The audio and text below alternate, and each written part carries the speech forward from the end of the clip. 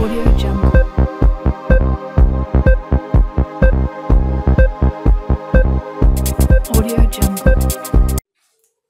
नमस्कार दोस्तों, कैसे हैं आप सब लोग? उम्मीद करता हूँ बहुत अच्छे होंगे। तो दोस्तों, मैं स्वागत करता हूँ आप ही का, आप ही के अपने चैनल न्यूटेक इजी में। तो दोस्तों, आज का जो हमारा टॉपिक है, वो एक्चुअली मैंने कहाँ से लिया सबसे पहले मैं वो बता देता हूँ। एक्चुअली क्या हुआ कि अभी एक दो दिन पहले मैं अपने दोस्त की एक शादी में गया, वहाँ पर मेरे दोस्त का जो है मोबाइल एक्चुअली एकदम से खो गया। पता नहीं कहाँ पर कैसे वो चोरी हुआ तो मैंने जो है सिंपल सी वहाँ पर ट्रिक्स कुछ यूज़ की थी, जिसके जिससे मैंने पहले, सबसे पहले उस फ़ोन को लॉक किया। अब लॉक करने के बाद में क्या हुआ कि फ़ोन स्विच ऑफ़ वगैरह नहीं कर पा सकता था दूसरी बात मैंने उसे ट्रेक किया। ट्रेक करने के बाद में हमने आसपास से एरिया के बाद में पूछ के वहाँ से उसको रिंग किया। और रिंग करने के लिए हमने डायरेक्ट कॉल नहीं किया उस फ़ोन पर। कॉल जो है बिल्कुल नहीं जा रहा था। हमने कॉल किस तरह से किया, सिर्फ़ रिंग कराया था कॉल नहीं किया रिंग कराया था, उसे बजाया था।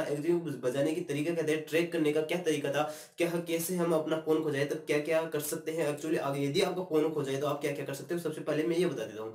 यदि आपका फ़ोन कहीं खो जाए तो आप उसको, आप किसी दूसरे के फ़ोन लीजिए आप अपना और डिवाइस लीजिए। आप उसको लॉक कर सकते हैं, आप उसको जो है रिंग कर सकते हैं, बजा सकते हैं, आप उसको इरेज कर सकते हैं मतलब सब कुछ डेटा क्लीन कर सकते हैं, साफ़ कर सकते हैं, मिटा सकते हैं, खत्म कर सकते हैं। उसी के साथ साथ आप उसे ट्रैक कर सकते हैं, उसका पता लगा सकते हैं एक्चुअली है कहाँ पर, यदि आपका फ़ोन स्विच ऑफ़ हुआ तो भी।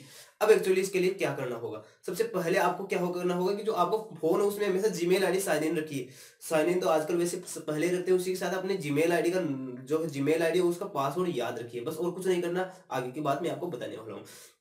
तो चलिए दोस्तों, आगे बढ़ते हैं। आगे बढ़ने से पहले दोस्तों, आप हमारे चैनल न्यूटी जी को सब्सक्राइब कर लीजिए और सब्सक्राइब करने के बाद में पास में आएगा लाल कलर का बटन, उसको दबा दीजिए और सॉरी, दबा दीजिए सब्सक्राइब करने के बाद जो घंटी वाला निशान आता है, उसको भी प्रेस कर दीजिए ताकि आपको हमारे नए वीडियोज़ की नोटिफिकेशन है सूचना मिलती रहे। तो चलिए स्टार्ट करते हैं। इसके लिए सबसे पहले आपको कुछ नहीं करना, हमारे गूगल बाबा जी के पास चलते हैं सिंपल ही हम। और गूगल पर गूगल डॉट कॉम टाइप करने के बाद गूगल का इंटरफेस आप जानते हैं किस तरह का आता है? तो सर्च मेन्यू पर जाने के बाद में आप जैसे कि साइड में स्क्रीन भी देख रहे होंगे, सबसे पहले आपको यहाँ पर सर्च करना होगा। एक्चुअली सर्च आपको क्या करना होगा? सब सर्च करना होगा, आपको सर्च करना होगा कि Google Android manager Google find Android manager इस तरह से आपको सर्च करना होगा। सर्च करने के बाद दूसरा तीसरा ऑप्शन है पहला ऑप्शन इस तरह से कुछ आएगा। नीचे आप साइड देख लीजिए फाइंड माई डिवाइस वाला।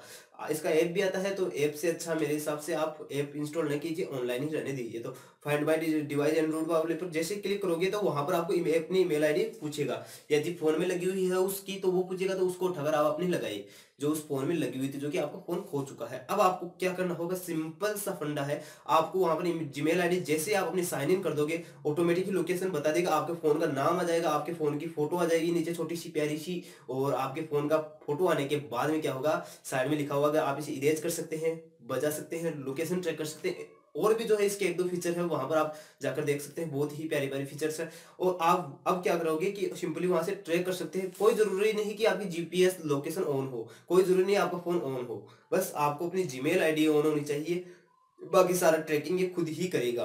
तो इससे आप अपने फ़ोन का पता आसानी से लगा सकते हैं, आपका फ़ोन कहाँ है, कहाँ पर खो गया है, कैसे पता करें, क्या करें आपको बहुत सारा झंझट लेने, बहुत यहाँ परेशान हो जाते हैं हम कि यार क्या करें, वो क्या हो गया यार? फ़ोन खो गया यार। फ़ोन पता है कितना महँगा था? कितनी मेहनत से लोग लाते हैं। कोई कितने का लाता है, कोई कितने का लाता है। तो भैया, ये था एक सिंपल सा, बहुत ही अच्छा तरीका। और एक छोटी सी इन्फॉर्मेशन आपको एक दे दूँ कि ऐसा एक फ़ोन तैयार हो रहा है। किस कंपनी के तैयार हो रहा है, वो मैं आपको अभी अभी कंपनी का नाम नहीं बता सकता।